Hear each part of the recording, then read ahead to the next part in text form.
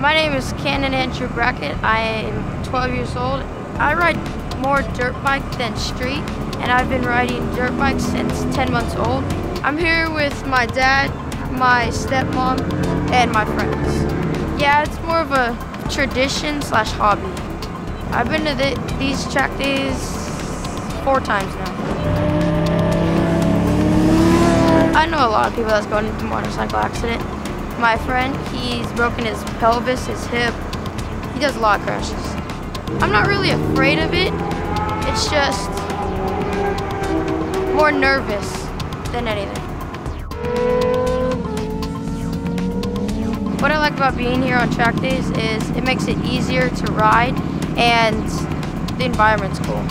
What I'm learning out there is lines, corners, and speed. Definitely I'm getting more confident, for sure. No, not street legal yet, not at 12. If you're out there and you love riding bikes, come out here and try the track. It's really fun and it's a good beginner track.